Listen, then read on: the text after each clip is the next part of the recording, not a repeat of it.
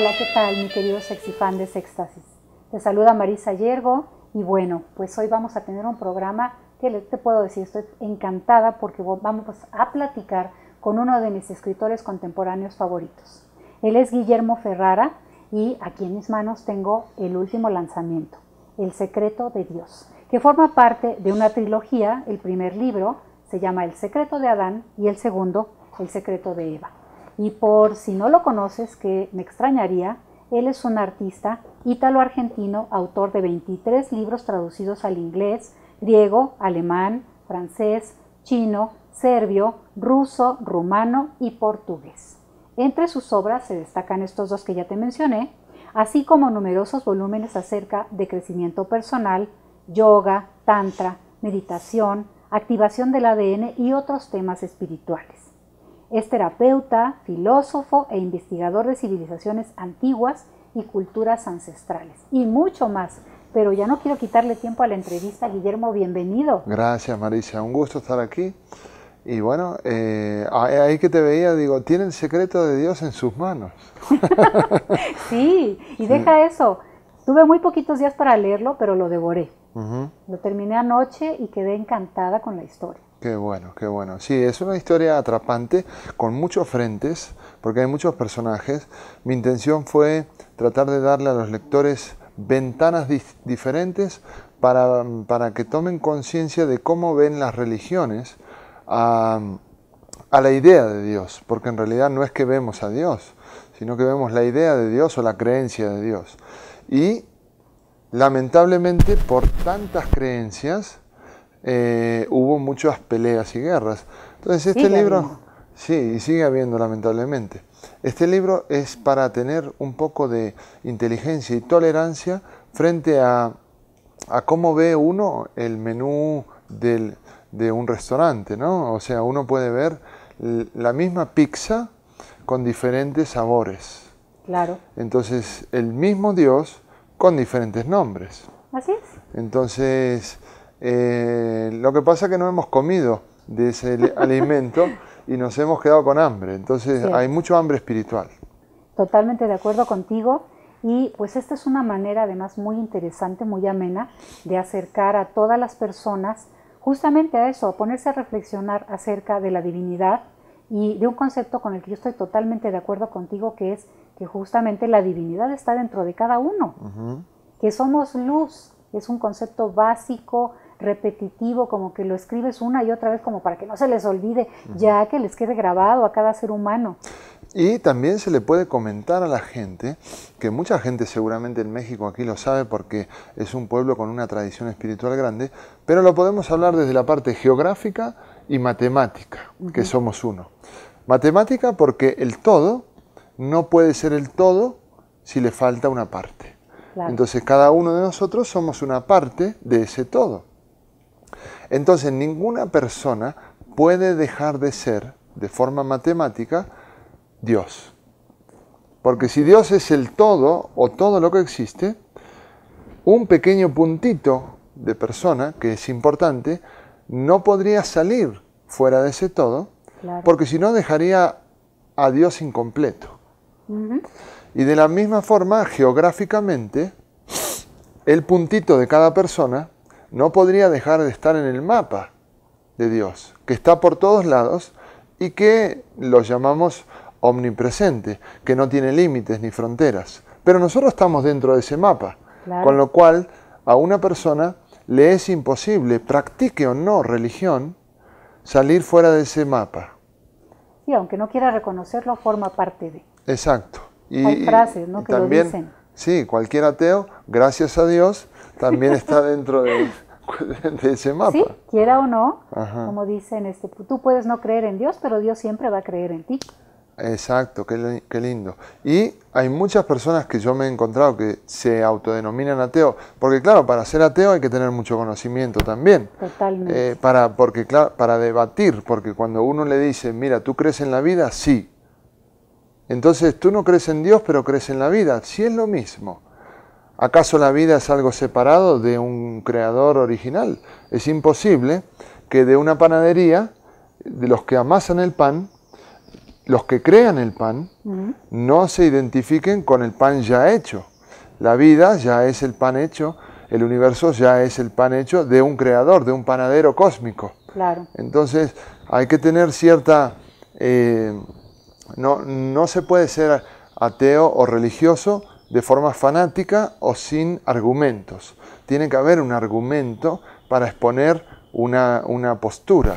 Entonces, este libro tiene muchas posturas para que un lector vea y se, y se meta en la mente de cada persona, eh, ya sea judío, cristiano, católico del Islam o budista, o personas que sienten a Dios pero que no tienen religión. Sí, fíjate que sí. A lo largo de esta lectura, que la, pues sí la tuve que hacer muy rápido, después lo voy a volver a leer con detenimiento y a, deleitarme con él, a gozarlo, hay eso que tú dices, son como, no sé qué nombre ponerle, como pequeños animalitos con patas energéticas que tú dejas que corran por las páginas y se metan en ciertos recovecos de cada persona. Frases que tienen mucha fuerza y que se quedan grabadas.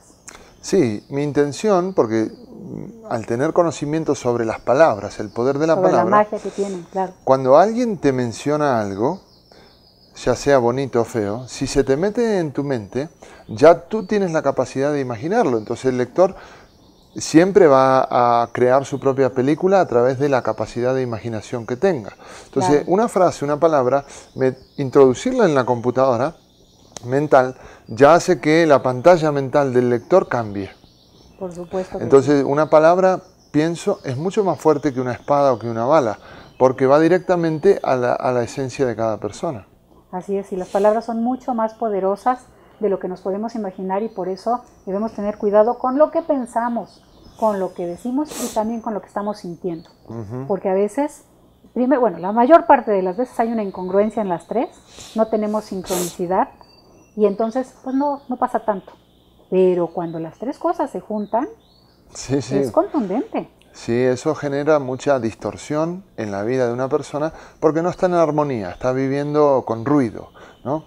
Entonces, al vivir con ruido y no con melodía, eh, genera una, una, mm, una mala vivencia una y otra vez. Y la persona no tiene mejor idea que decir que tiene mala suerte o le echa la culpa a un Dios que está en contra de él. ¿Por qué me pasa esto a mí? ¿Por qué a mí si yo soy una buena persona? Sí, pero que no sabes las leyes de la vida. La vida se maneja ciertas leyes energéticas y, leyes espirituales. Entonces, cuando las conocemos, la vida se empieza a encarrilar. Y ahí está el punto justamente. Tengo por aquí una lista de frases y de pensamientos que estuve recolectando los que más me impactaron y me gustaría mucho que el segundo segmento de esta entrevista, pues como írtelos presentando para que tú nos expliques un poquito más acerca de todas esas ideas. Creo que este ya se nos terminó, pero no se vayan, todavía hay mucho más aquí con Guillermo Ferrara. chicos de GNA Channel. ¿Qué tal amigos? Soy Diana Golden. Somos Luis y Enrique, él es Luis y él es Enrique. Soy Daniela Luján. Les habla su amiga Alicia Encinas. Soy su amigo Sergio Catalán. Soy Margarita la diosa de la cumbia. Ah, pues todos invitados, que a toda la banda, a toda la gente, por favor, aquí los esperamos. Eh, sigan sintonizando este canal. GNH Channel. GNH Channel. A nuestros amigos de GNH Channel. GNH Channel. GNH Channel. G&H. Sigan viendo G&H Channel. Esto es G&H Channel. Los invito a todos que sigan viendo este grandioso canal. Estamos en internet. No se lo pierdan porque cada vez esto se pone mejor. Les mando un beso bien grande. Bruno Richie les manda un saludo caluroso. Les mando un abrazo grandotote. Un beso, un abrazo. Aquí los espero. Su amigo David Ostrowski. Están muy bien ustedes viendo este canal de G&H Channel. ¿eh? Sigan viendo GNA Channel, siempre cerca de ti. Ay, ¿verdad? Hola, ¿qué tal, mi querido sexy fan de Sextasis? Pues esta es la cápsula dentro de los programas de entrevistas de Marisa Yergo, que también se llaman Sextasis, y en esta cápsula te voy a hablar de algo que acabo de lograr y que me da muchísimo gusto. Un libro más. Se encuentra en Amazon, se llama Rostros de mi poesía y es una antología de todo tipo de poesía.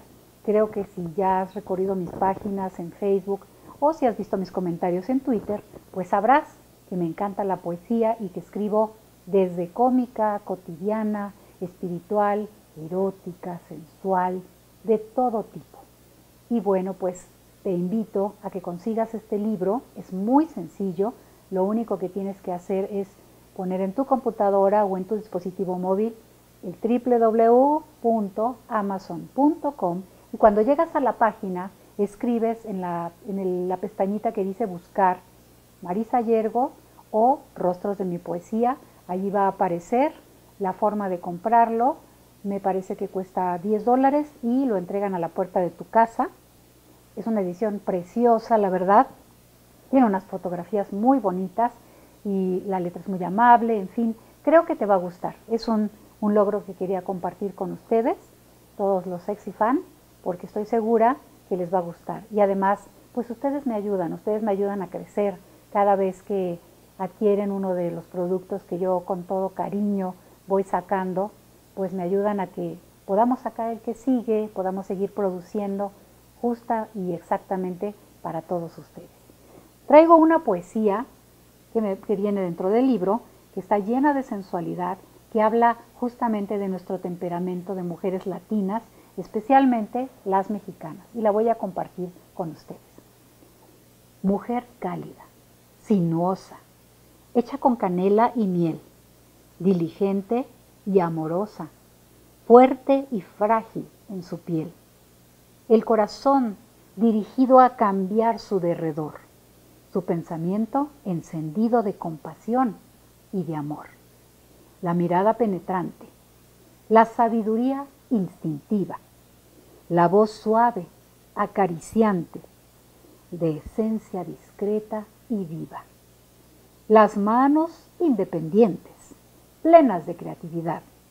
Los ojazos relucientes, de picardía en libertad. Mexicana a mucho orgullo. Te toca escribir la historia. Tu oración en suave arrullo será paz premonitoria. Tu femenina energía, eco de la madre tierra, de la luna clara y fría, de Venus, de amor que aferra, nos llevará hacia el futuro, nos indicará el camino, será la luz en el muro, nos mostrará otro destino, pues la femenina esencia que ha sido tan ignorada marca hoy la diferencia entre ir y ser llevada. Y pues bueno, esta es, es una de las muchas poesías que vas a poder disfrutar dentro de este libro. Te recuerdo el nombre, Rostros de mi poesía, por Marisa Yergo. Si te gusta la poesía, este libro te va a encantar. Y si no te gusta, te va a empezar a gustar. Así que yo te invito a que lo consigas y después de eso me comentes. Ya sabes que me puedes encontrar a través de las redes, primeramente en el correo sextasis con doble X, arroba ghchannel.tv, pero también en Facebook y en Twitter. Primeramente en Facebook estoy como Marisa Yergo TV de televisión, guion escritora, o también como Sextasis con doble X. Y en Twitter es Sextasis TV de televisión y Marisa Yergo TV. Así que pues hay muchas maneras de encontrarme. Si te gusta la poesía también compártela, súbela a mi página, envíamela por correo y nosotros hablamos de tu autoría. En fin, creo que es uno de los tantos caminos que la sensualidad y el sexo eh, pues encuentran musicalmente hablando, artísticamente hablando, un medio de expresión.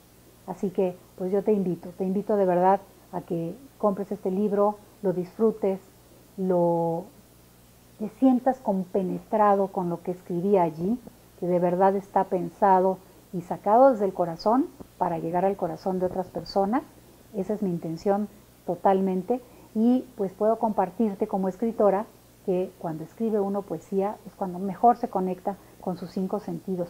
Hemos hablado aquí mucho de lo importante que es la sensualidad y justamente es el poeta el que puede mirar como otras 100 personas la flor que está abandonada a un lado del camino, pero él, el poeta, sabe cómo describirla. Así que pues bueno, aquí está la invitación. De verdad, de todo corazón, quisiera compartir contigo esa oportunidad, esa experiencia y que si te gusta la idea, pues te voy a cerrar este, esta pequeña cápsula con otra poesía. Esta se llama Un secreto. Una tarde de septiembre, en un céntrico café, con mi lista de promesas e ilusiones me encontré y leí que cada día, sin importar lo que pase, seré fuente de alegría doquiera que me encontrase. ¿Cómo se logra esta hazaña? Pues te regalo el secreto. Nuestro espíritu se amaña para hacerlo muy concreto. Todo lo que necesito para ser el más feliz, no lo bebo, ni lo habito, ni está frente a mi nariz. No está en mis planes futuros ni en los sueños por lograr.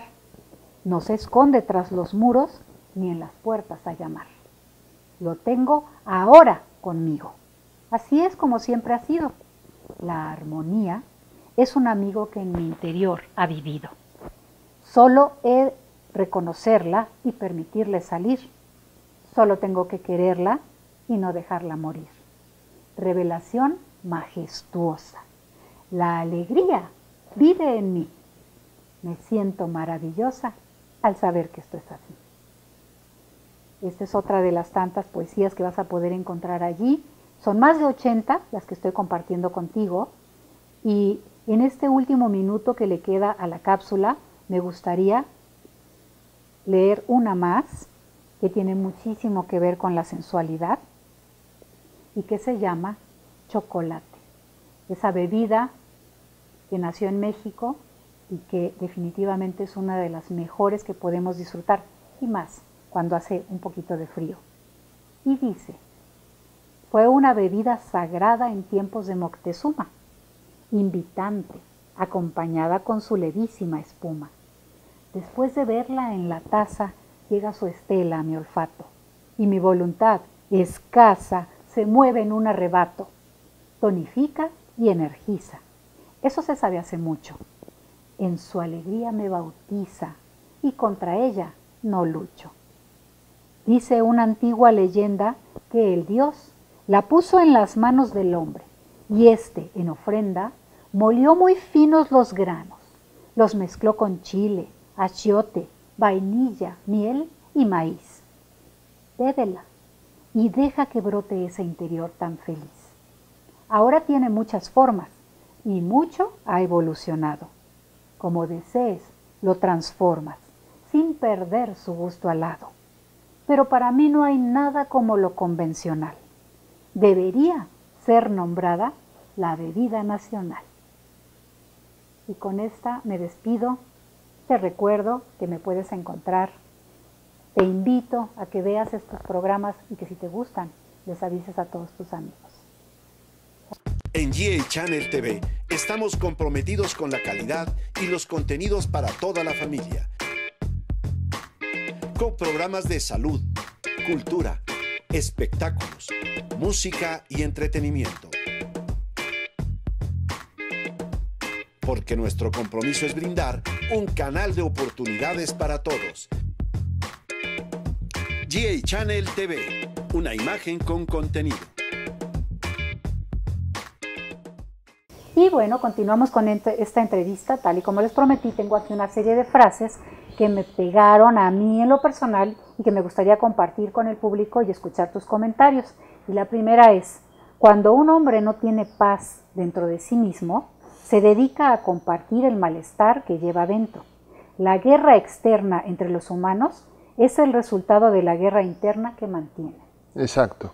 Mira, eh, para darle poco, poco eh, eh, auge a la guerra, ha habido guerras por dos razones. Por el petróleo y el territorio, por invadir y por esto es mío, esto es tuyo, siendo que no hay limitaciones ni fronteras, es una idea ilusoria de un ser humano primitivo. Y la otra idea de guerra es a través de las religiones. Entonces hay mucha guerra de religión hace miles de años. Entonces se meten bombas en, en señal de un Dios del amor, etc. Cuando una persona no está bien consigo mismo, busca guerra, pero también hay una guerra eh, que genera mucho negocio por venta de armas. Yo conozco gente que ha estado en ejércitos y le decían, dispara, dispara, aunque no le dispares a nadie, tenemos que gastar las balas para volver a comprar. Entonces, ¿qué pasa? Yo estoy a favor de la guerra, pero tiene que ir el presidente del país con el otro presidente del país, una lucha a muerte. Ah, Los soldados no tienen que ir. ¿No? Tienes toda la En- razón. Entonces los soldados tienen que verla televisada desde la casa eh, en, en su comodidad. Pero claro, agarramos gente inocente que, que la utilizamos y vamos a, a- a tratar de invadir un país y poner este, la carne de cañón de, la- de esos, de esos pobres muchachos, ¿no? Así es. Siendo que son deseos de unas corporaciones y sociedades secretas que están detrás. Así es. Entonces, claro, este, el pueblo tiene el poder. Si el pueblo está en paz, no va a ir a la guerra, va a, estar a favor de la paz. Pero, pero muchas, este, sería largo de explicar, pero muchos eh, planes y muchas eh, confabulaciones están puestos para que el ser humano esté ansioso, tenso y busque pelear con el otro.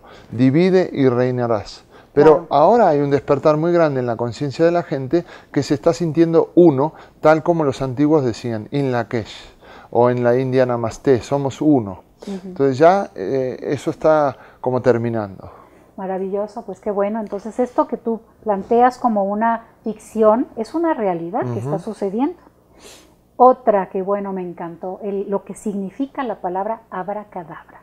Abracadabra es una palabra muy, muy bonita que siempre la hemos tomado a- al azar, pero es una palabra de origen hebreo que no tiene nada que ver con que sea una palabra judía, sino es una palabra eh, de, de los ancestros que significa crear por la palabra, crear por el poder de decir algo, o sea, un decreto. De ahí que Jesús diga, pide y se te dará. Claro. O sea, cuando uno pide, pide en abundancia y pide con fuerza y pide con intención, como los chamanes, el intento de Castaneda, el intento de los chamanes, como dice la abuela Margarita, cuando quiero algo me lo pido a mí misma, con el poder de decretar algo. Porque no nos damos cuenta de que la vida, el universo, Dios, que es lo mismo, está a favor nuestro. Entonces, cuando uno dice una palabra, las cosas se van a movilizar. Medio mundo cree en un hombre que dijo, si le dices a esa montaña que se mueva, la montaña se moverá. Y le decimos, mira, pide para que venga tu alma gemela o para que te den un aumento, y no lo creemos. Así Pero sí creemos que podemos mover una montaña. Entonces, tenemos que usar la palabra, eh, el decreto, en forma positiva Claro. no en forma negativa, porque mucha gente eh, lo utiliza en forma negativa sin saberlo y se cumple. Es verdad, o sea, empezamos por las amenazas o, o esas predicciones de las mamás, ¿no? No hagas eso que te vas a caer. Claro, Bueno, pues ya, pobre niño, ya no le queda otra más que claro. caerse. Solo escucha, te vas a caer.